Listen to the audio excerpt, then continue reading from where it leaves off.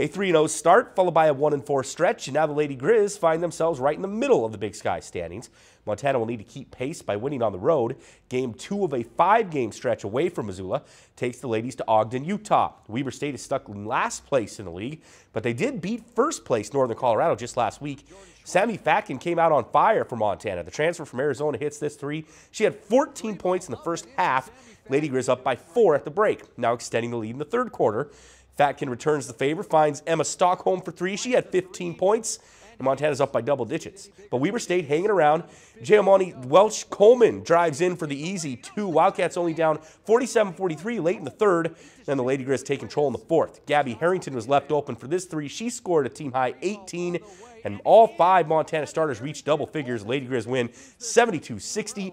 Next up, a trip to Bozeman next week for a doubleheader versus the Bobcats.